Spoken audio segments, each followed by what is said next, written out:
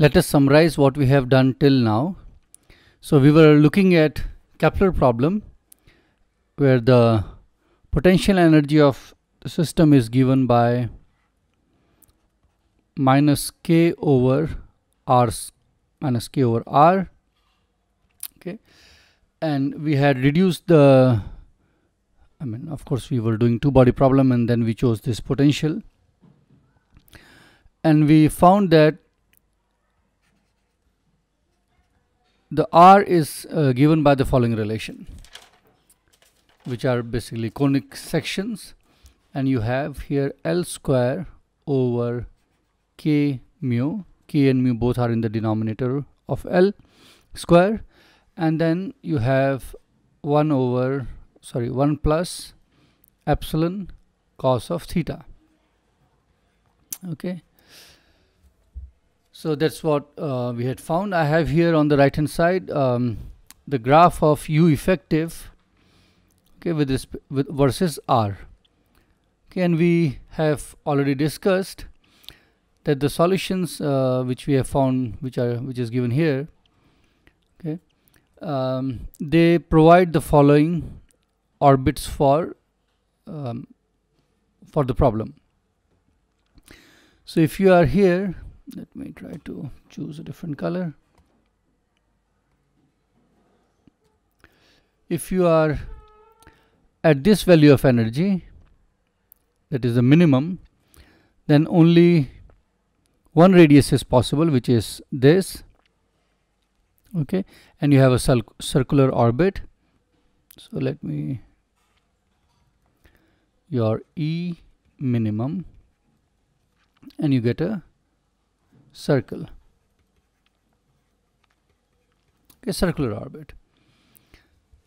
Then if you are anywhere between this energy minimum energy which is a negative value and 0 then you get an ellipse. So if you are anywhere between this point and that point in energy then you get an ellipse. So if you are here you get if energy value is this then you get an ellipse. Okay if your E is equal to 0 let me write it here like this. And recall if energy is 0 then you get a parabola. Okay so for this you get a parabola. You see uh, it, it comes here and then it returns back returns uh, and goes towards infinity and never comes back. So this leads, leads to a parabola.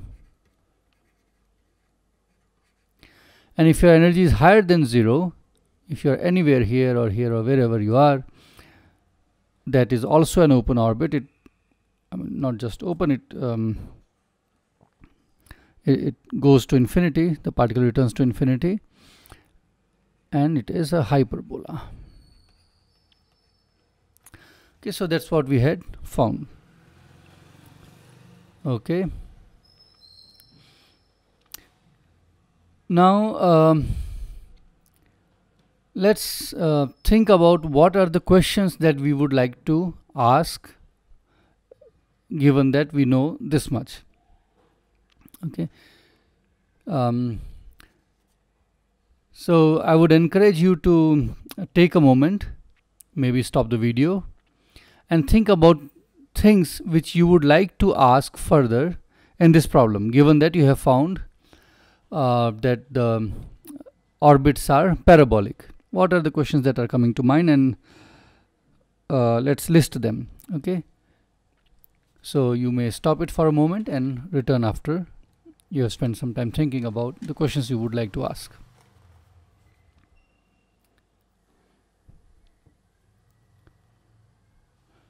Okay, so hopefully you have returned with a list of questions and I will write down a small list which um, typically uh, we can ask right now.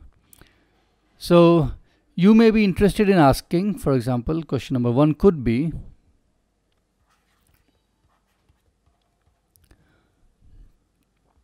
mm, yeah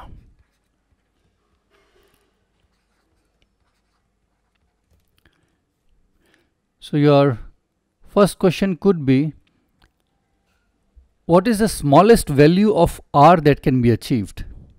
Okay. Equivalently, what is the closest, what is the shortest distance between the particles m1 and m2 that um, you are going to see in this system okay so that is question number one so let me write it down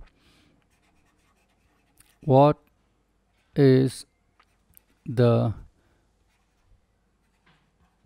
smallest value R can take So that's a nice question to ask because you would of course like to know how close these two particles are going to come, right? Then you may ask what is the largest value that R can take? How much, what is the maximum uh, separation between them that's going to be possible? What is the largest um, value that R takes?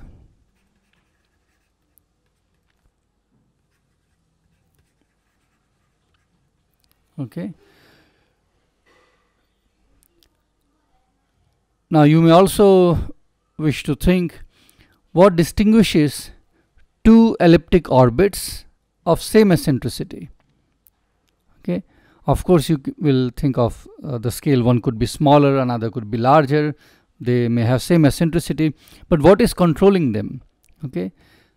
So we'll make this question a little bit more precise later, but we'll for the now we will leave, leave it a little vague, but nevertheless I'll write it. What distinguishes two elliptic orbits of same eccentricity?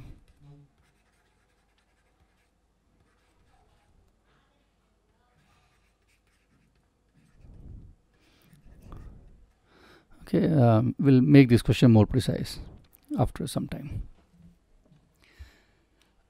um, maybe I can say a few words to the students who are uh, listening to this video okay and um, I, I, if there are some faculty who are uh, taking it for FDP they may ignore whatever I'm saying and excuse me um, because I would like to address the younger lot the students for a, for a while.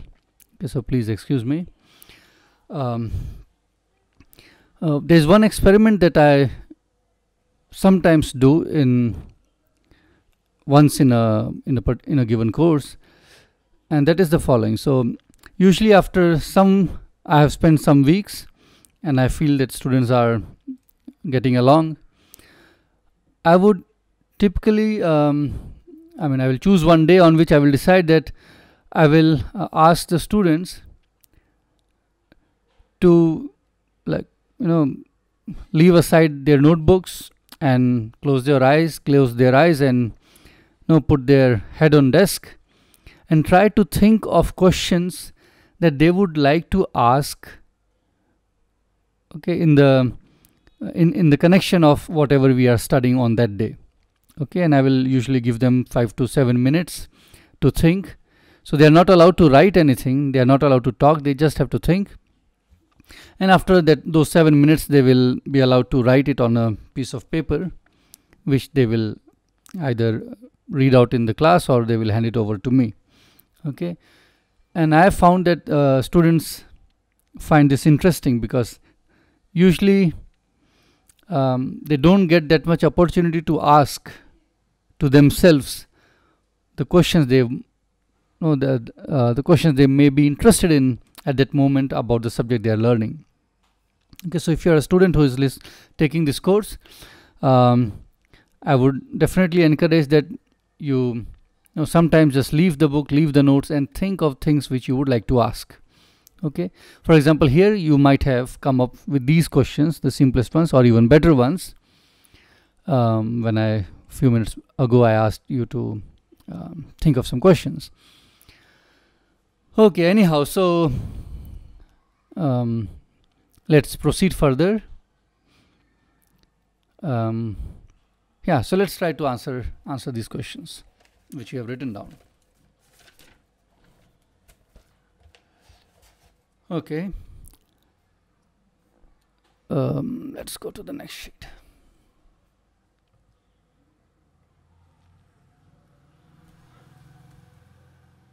Mm, here.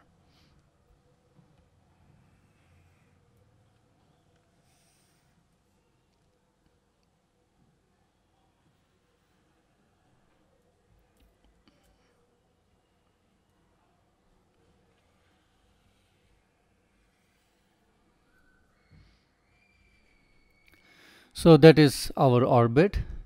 The origin is here and my question is um, R is equal to L square over K mu 1 plus epsilon cos of theta. Okay, and theta is me measured with respect to this line. So let's say theta is pi by 2. Let's see what is that. When theta is pi by 2, cos theta is 0 and you are left with the 1 in the denominator and your r is L square over k mu, okay? Which means this distance from here to here, which I will call rho, okay? That is what you get for pi by 2, which means rho is L square over k mu.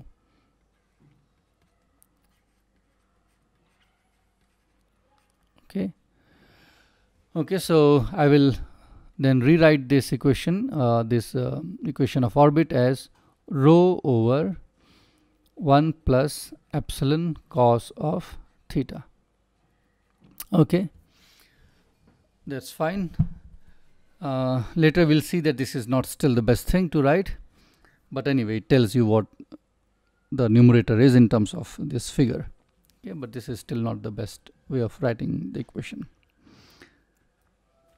anyway so let's ask um, about r minimum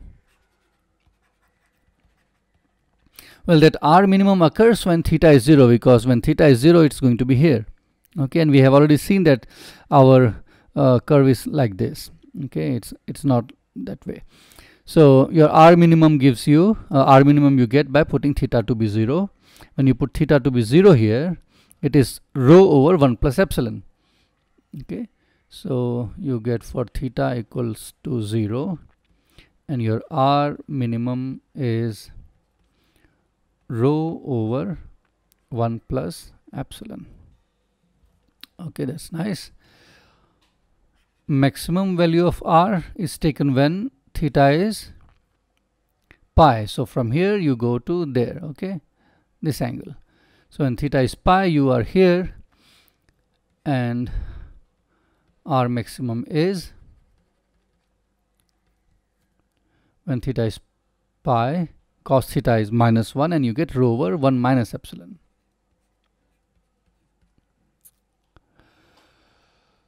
okay so that's nice. So here it is r minimum. That is our maximum. So our maximum is from here to there okay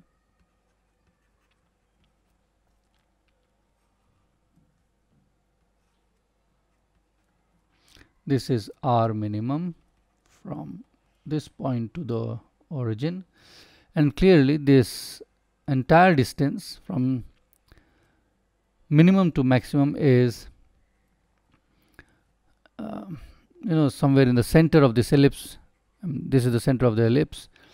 Okay and the distance from the center to one end is what you call semi major axis. And similarly on that side you call semi minor axis. So this the full distance from here to there is r max plus r minimum. Let me not write it, it it's cluttering. Okay so this is major axis this length and half of it would be semi major axis. So my semi major axis is how much is r maxis uh, r max plus r minimum divided by 2 because then I count from here. So I have R minimum plus R maximum the whole thing divided by 2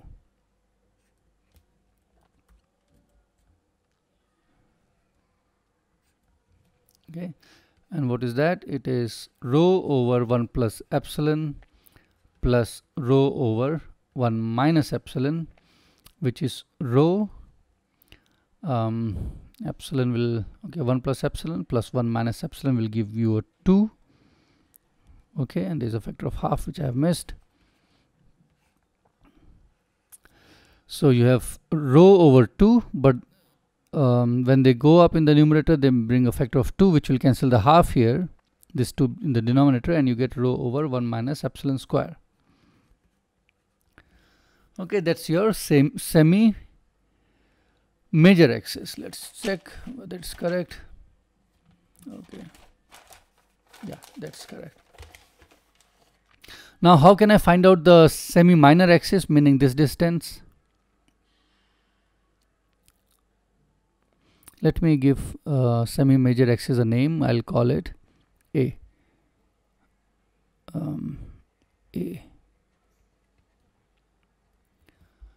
and let's call this one B semi minor axis so B is defined to be semi minor axis and how can I find it out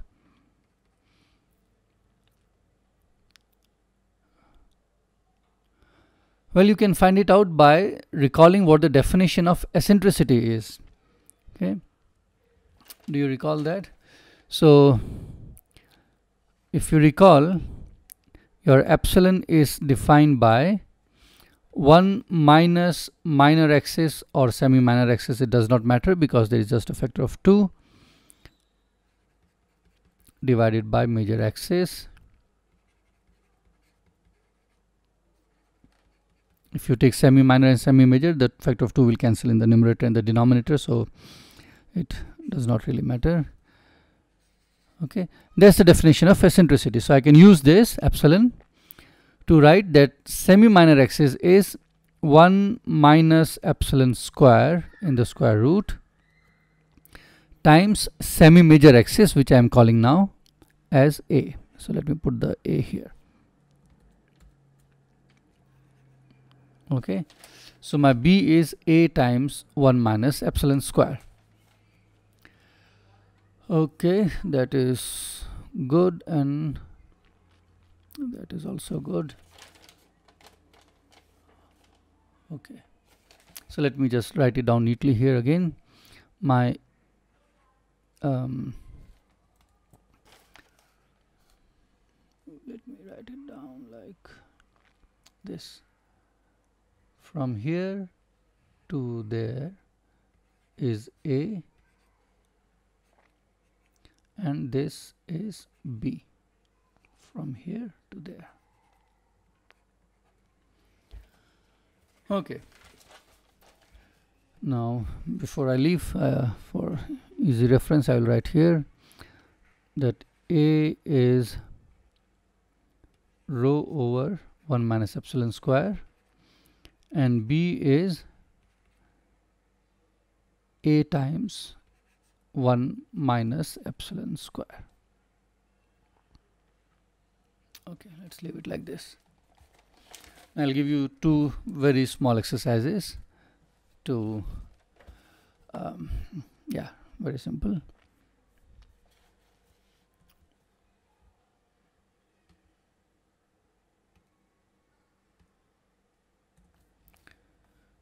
So exercise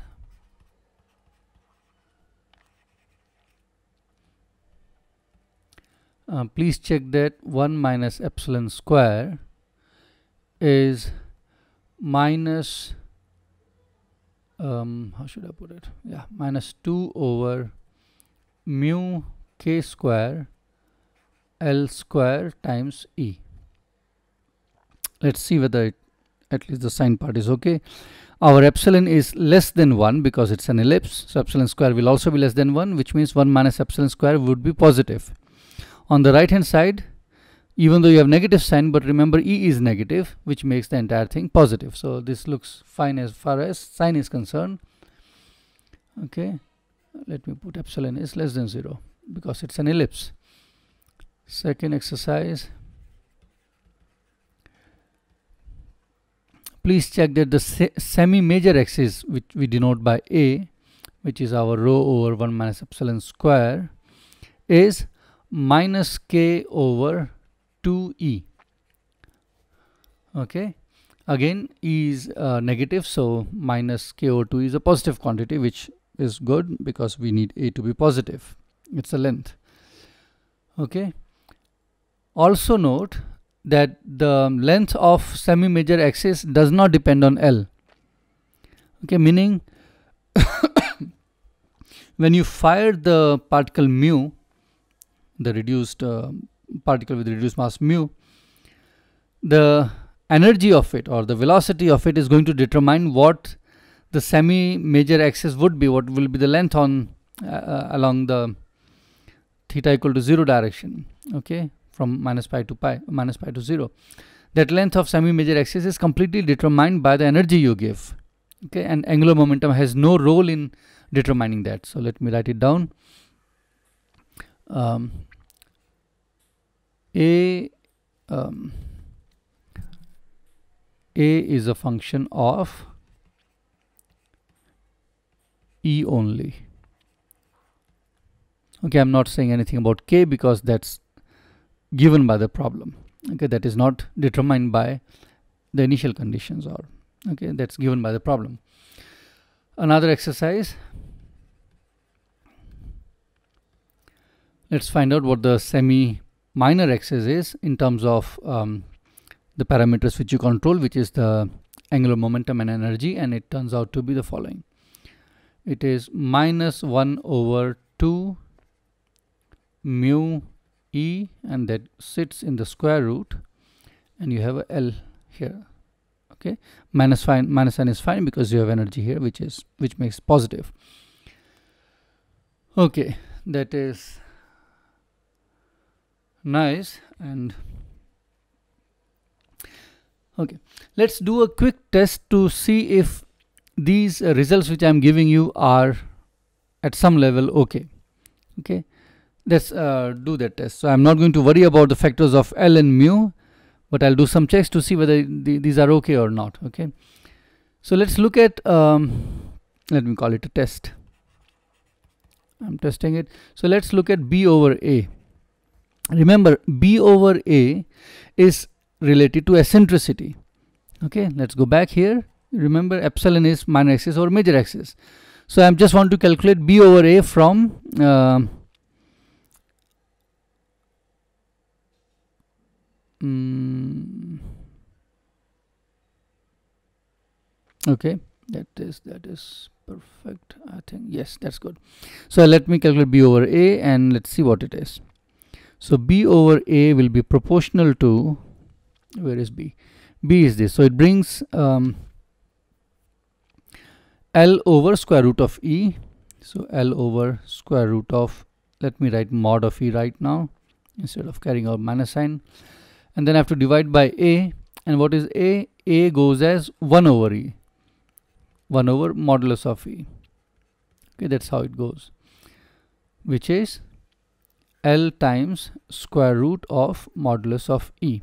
That's what B and A are giving. And if I have not made a calculation calculation mistake, then as far as L and E dependence is concerned in here, okay, it should be the same as you should get in 1 minus epsilon square. Right? So let's see what our 1 minus epsilon square is. My 1 minus epsilon square is a function of L modulus of E in the square root this thing squared. But anyway this is a function of this. Okay? So which is okay which is which means that my b over a is coming out to be uh, consistent with what i expected of the eccentricity. Okay? And so this is uh, these are the kind of small tests we should keep doing during calculations to be sure that we are not making some some mistakes. Okay uh, that's fine. Now um, let's ask the following. Let's go back to our third question what I was what distinguishes two elliptic orbits of same eccentricity? So what I'm really trying to say uh, ask is the following um, let's say I have fired my particle mu with some energy and some angular momentum okay? And I get some orbit of some ellipticity epsilon. Now what I want to do is again uh, repeat the same thing. I want to fire my particle mu with a different energy. And of course I should fire with a different angular momentum uh, such that I get the same eccentricity okay? So I want the same eccentricity as before but I want to have a different energy okay? Then how should my angular momentum be related? That is what I want to ask okay? Uh, so let me write or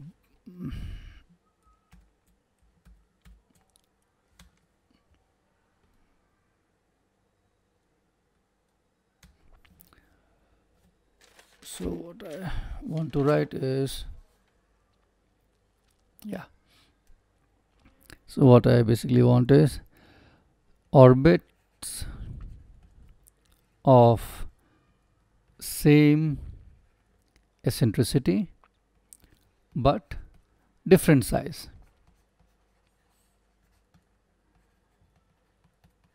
That's what basically I'm asking. You see if you draw an ellipse on a sheet of paper okay? And you photocopy it and zoom it by two times or 10 times or whatever. The eccentricity is same for all these copies. The basic ellipse is still the same. What is different between all these copies is the scale. Okay? And that is what I mean here that I keep the epsilon same and but the orbits are of different size. Okay? Or equivalently different scale. So very naively I would think that because my R is given by the following. My remember I wrote R as rho over 1 plus epsilon cos of theta. You might think that rho is the scale because epsilon remains unchanged and rho is the one which will determine the uh, the scale okay? And where rho is given by L square over k mu okay? That is the naive expectation if we are not being very careful so naively scale is controlled by or not just say scaling is rho. Scale factor is rho.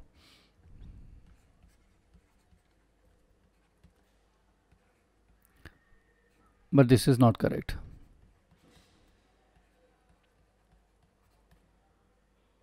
Okay this is this naive expectation is obviously not correct because I should ensure that if there are any factors of a over b which are in rho I should factor them out. Okay otherwise I'll be uh, putting in unnecessary. See if you if I divide by this thing by epsilon okay then the scaling factor changes right? So we have to be careful in what we are doing.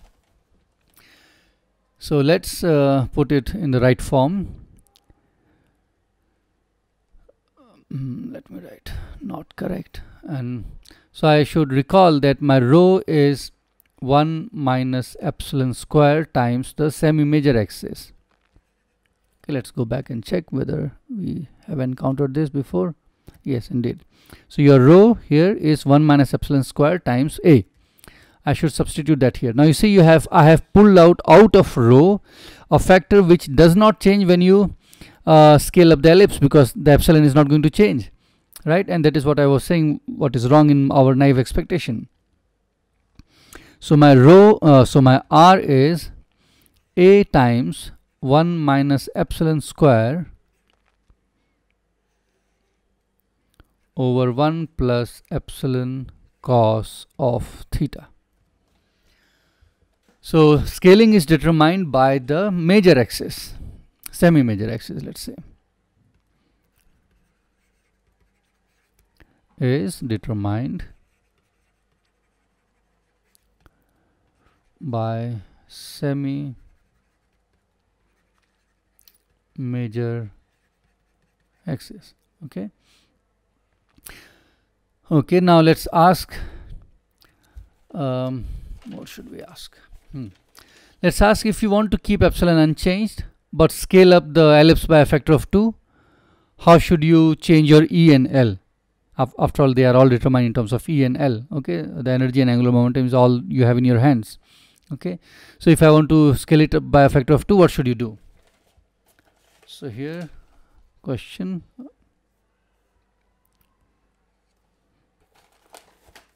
Mm,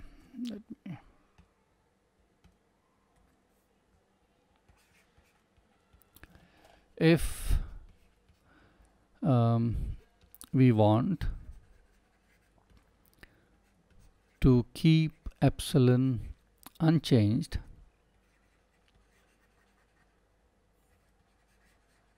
okay but scale up the ellipse by a factor of 2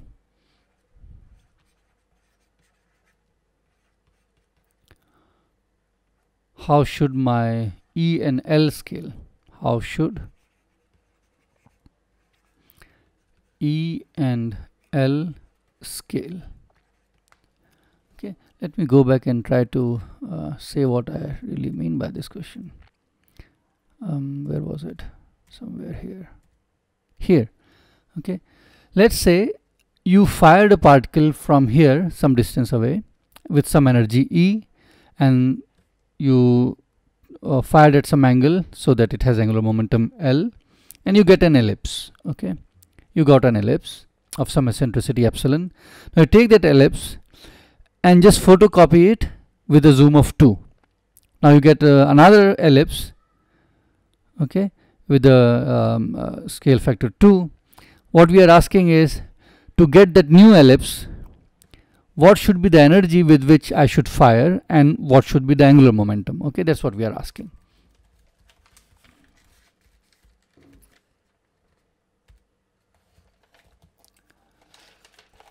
Okay so clearly because my epsilon is going to be unchanged it means that the ratio of um, semi major axis and semi minor axis is going to be unchanged.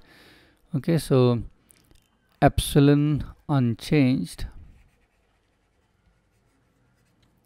implies my b over a to be unchanged. Okay. Now b over a you can quickly see that goes as L times square root of E. Okay if you divide b over a that's what you get.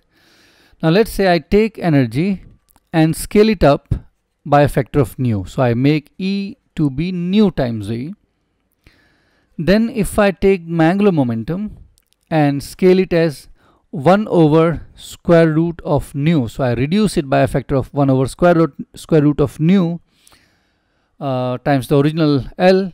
If I do this then my B over A does not change.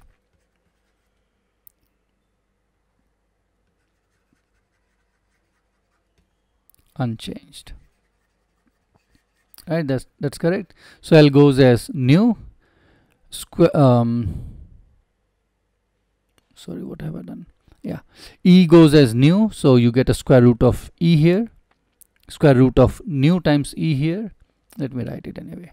So L times square root of E goes as L becomes 1 over nu L and E becomes square root of nu E. And these two cancel okay. So you get the same thing back. So um, that is correct. That is correct. Very good. Now what um, yeah that's correct. Okay. Now I wanted to ask um, uh, what I would like to know now is given uh, this situation where I have scaled the energies uh, E and L by these factors, what is the um, new semi-major axis? Because that is what is going to determine the scale of the ellipse, right? You remember this? Let's see. somewhere here. Yeah here. You have a okay? So if I know how a has changed I will know the answer. And let's go back and see what is a. A goes as 1 over e okay? So my a goes as or is um, is proportional to 1 over modulus of e. That's what we saw just now. To be sure let's check once again. Yes correct. A goes as 1 over mod of e which means under the uh, scaling I have done my um, this will become nu times.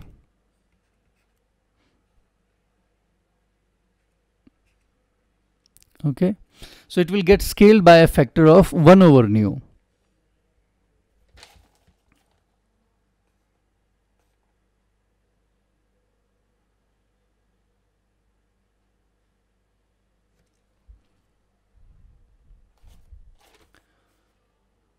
Okay? Um, that is looking fine to me. Mm, the size was mine by a so it goes by a factor of nu I think I wrote wrongly in my note so this is this is correct here. Okay so that is um, that is how it happens. And let me also throw in a bit of nomenclature. These um, r minimum and r maximum. They are called our apsidal distances. Let me draw this. So this point and that point they are called apsidal distances. Okay. We'll continue um, and talk more about center force problem in the next lecture. Okay so see you then. Next